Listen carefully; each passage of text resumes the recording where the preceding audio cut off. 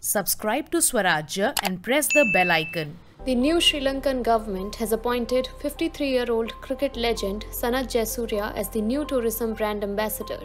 After taking up the new role, he met India's High Commissioner in Colombo, Gopal Baglay, to discuss prospects for tourism.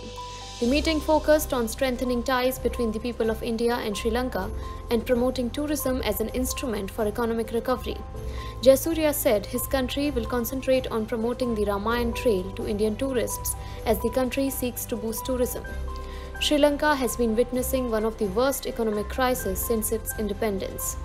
Tourism revenue is one of the most important factors in the country's economy. There are 52 sites on the Ramayan Trail, and the island nation is doing all it can to promote tourism in the country.